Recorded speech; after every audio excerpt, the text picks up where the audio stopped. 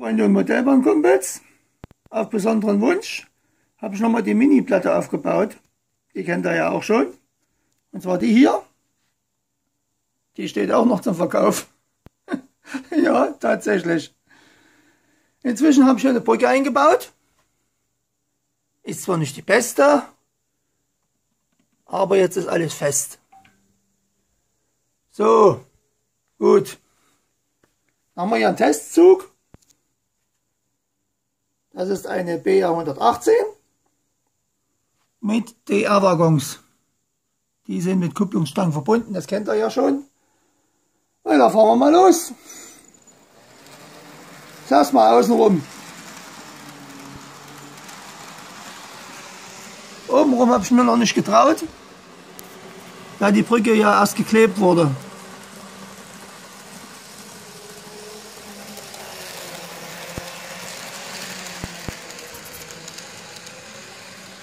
Also wie gesagt, diese Mini-Popelplatte steht auch noch zum Verkauf. Aber ich werde sie wohl zu, bis Weihnachten aufheben.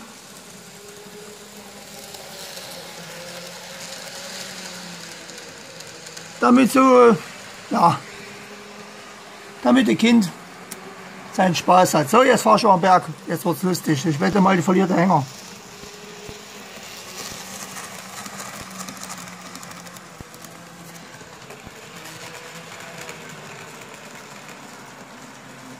Na, na, na, na. Oh, okay. Sieht gut aus. Hat tatsächlich geklappt. Na, dann machen wir gleich mal noch eine Runde, ne?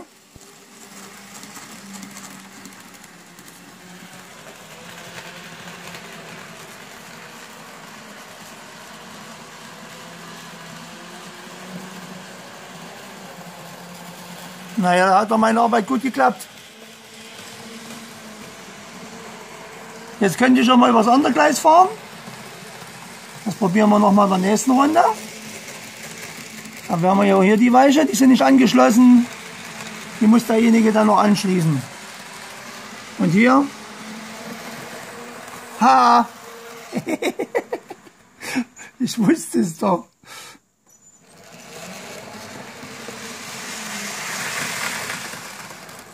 So, dann machen wir nämlich jetzt folgendes.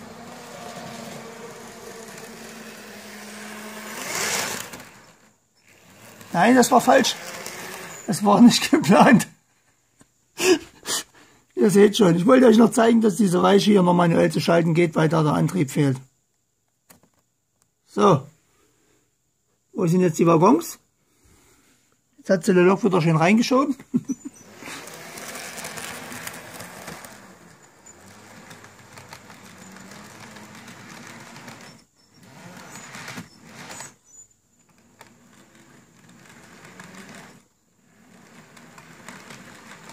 wollte nämlich mal andersrum am Berg fahren.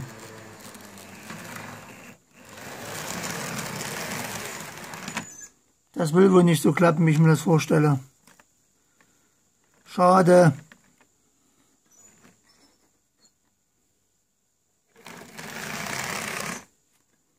Ja, das ist halt nicht so perfekt.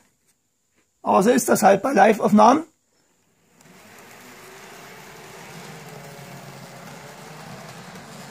Jetzt fahren wir anders rüber den Berg. Mal sehen, ob es da besser klappt. Nö, da klappt ja gar nicht mehr. Aber ich kann euch sagen, woran das liegt. Und zwar hier. Seht ihr das? Diese Monsterpuffer von der Lok. Die nerven gewaltig. Deswegen geht das nicht. Also meine Brückenreparatur hat funktioniert. Da braucht ihr euch keine Sorgen zu machen.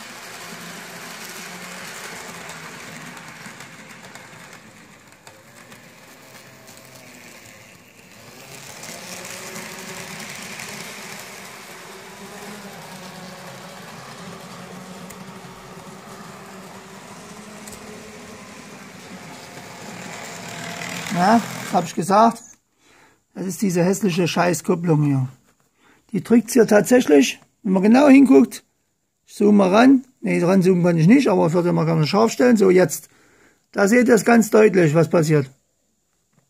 Der, der Waggon wird aus dem Gleis gedrückt, weil diese hässlichen Dreckspuffer von der Lok, das ist komischerweise bei jedem Waggon.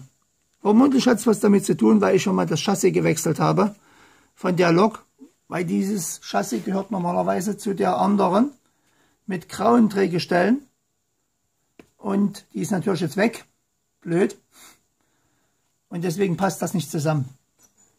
Das ist der ganze Grund. Kann ja mal eine andere Lok nehmen, wenn das der Fall sein sollte.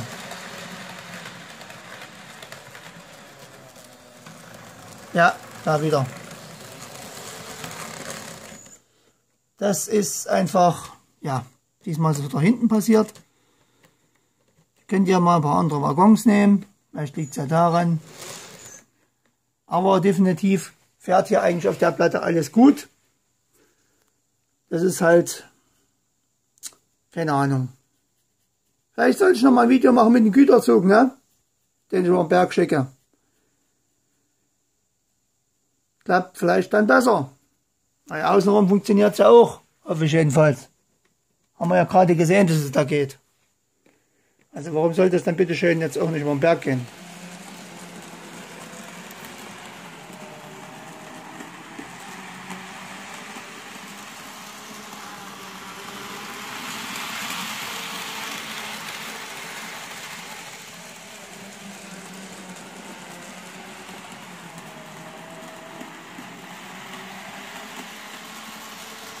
Ja, da gibt es keine Probleme. Na gut, ich wollte euch bloß mal diese Mini-Platte zeigen. Spezieller Wunsch von Tim. Hier hast du dieses Video, was nicht perfekt war. Wenn du willst, mach schon mal einen Güterzug drauf. Und ganz lang. Amerikanischen habe ich ja keinen mehr, sonst würdest du mal Berg schicken. Ist ja alles weg. Ja, und in dem Sinne, das war die Mini-Platte von noch, teilweise restauriert von mir. Und in dem Sinne, zum dritten Mal, zum vierten Mal, zum fünften Mal. Jetzt bin ich auch weg, so, tschüss.